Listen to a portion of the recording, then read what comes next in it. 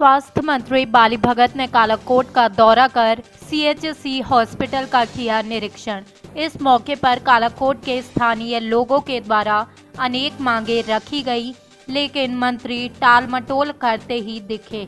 इस मौके पर लोगों ने कालाकोट सीएचसी अस्पताल में डॉक्टरों की कमी को मुख्य रूप से उठाया, लेकिन कोई ठोस आश्वासन न मिलने पर लोगों को निराशा ही हाथ लगी। ज्ञात रहे कि कालाकोट में डॉक्टरों के 16 महत्वपूर्ण पद रिक्त पड़े हैं, जिनमें से स्त्री रोग विशेषज्ञ, डॉक्टर फिजिशियन, विशेष डॉक्टर बच्चों और दांतों के डॉक्टर के पद रिक्त होने से लोगों को काफ़ी परेशानियों का सामना करना पड़ता है। वहीं इस अवसर पर डिजिटल एक्सरे मशीन, शव ग्रह, एंबुलेंस की कमी, शहीद के मुर्दे लोगों के द्वारा उठाए गए इस मौके पर लोगों के द्वारा सीएमओ राजौरी, डॉक्टर सुरेश गुप्ता और block medical officer Kalakot doctor Shamim के कामकाज की लोगों के द्वारा जमकर सराहना की गई। कालाकोट से साहिल, कॉल की रिपोर्ट।